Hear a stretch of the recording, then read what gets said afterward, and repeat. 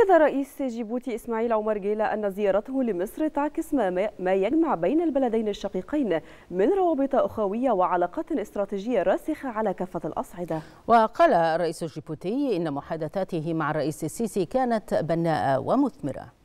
لقد أجريت مع أخي الرئيس عبد الفتاح السيسي محادثات بناءة ومثمرة حيث تناولنا سبل تعزيز وتطوير العلاقات الثنائية على المستويات كافة كما تبادلنا الرؤية ووجهات النظر حول مختلف الموضوعات والقضايا ذات الاهتمام المشترك. قد اتفقنا على أهم أهمية الانطلاق بعلاقات البلدين إلى آفاق جديدة